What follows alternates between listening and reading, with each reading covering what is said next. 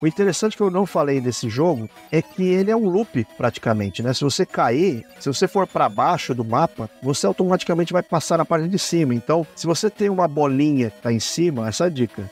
A bolinha tá lá em cima, você não precisa subir, você só desce e você já vai estar tá conseguindo chegar nessa bolinha. É uma dica de ouro, hein? Se bem que quem jogou já sabe que esse jogo é praticamente um loop eterno, o que é muito interessante a forma que eles fizeram a jogabilidade. Então a Tectoy aproveitou essa obra de arte, né, para conseguir atrair mais um público brasileiro, né?